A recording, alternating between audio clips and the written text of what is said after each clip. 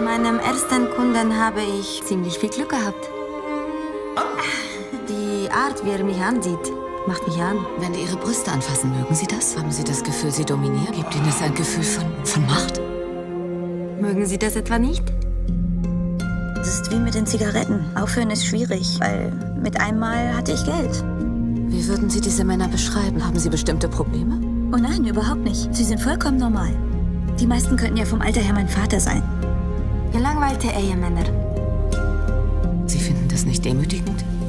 Nein. Ich glaube, ich verstehe das nicht so ganz. Seit du diesen Artikel schreibst, bist du eigenartig. Diese Recherche über die Nutten. Ich glaube, das sind nicht einfach nur Nutten. Nutte ist Nutte.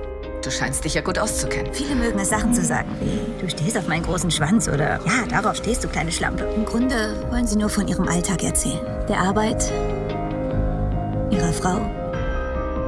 Was fällt Ihnen am schwersten? Ich muss immer lügen. Diese Lügerei ist am schwersten. Weißt du nicht, wie viel Glück du hast? Merkst du nicht, wie andere sich abrackern? Wovon redest du bitte schön? Hast du dich etwa abgerackert? Ich habe das Gefühl, ich stinke immer noch. Man kann auch so viel Flaubert lesen oder studieren. Das ändert gar nichts. Ich bin nun mal nicht wie Sie, das spüre ich.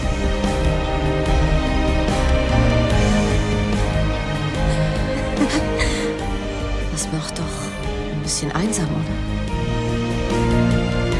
Das sind wir sowieso alle.